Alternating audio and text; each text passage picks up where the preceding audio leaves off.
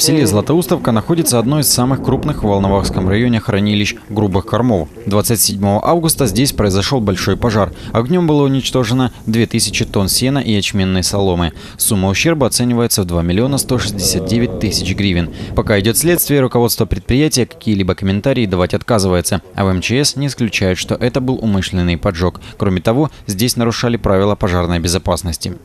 Э, Была превышена норма складируемых грубых кормов под навесами. Положено по нормам 1000 квадратных, мет, э, 1000 квадратных метров площадь навеса. Э, Здесь э, 1600. Сгоревший урожай предназначался для корма животных и обогрева помещений. Теперь руководство агрофирмы думает над тем, как исправить сложившуюся ситуацию. Обещают, поголовье скота останется прежним. После случившегося в Златоустовке районная администрация провела работу с другими сельхозпредприятиями. Говорят, что результат положительный. Практически все фирмы начали тщательнее соблюдать правила пожарной безопасности.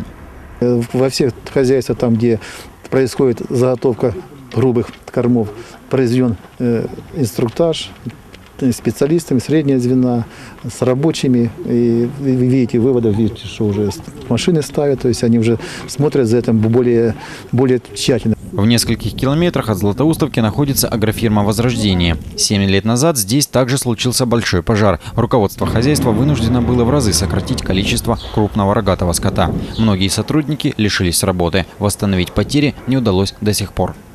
Был поджог, ну, никто виновных не нашел. Принципе, и не искал их никто. И, и навеса нету, сгорел, разобрали. э, Там и металл так повело, что теперь так храним, ну, оно опахано. И машина дежурит до э, холодов, когда начинаются дожди. Сторожевая охрана есть, оно освещается.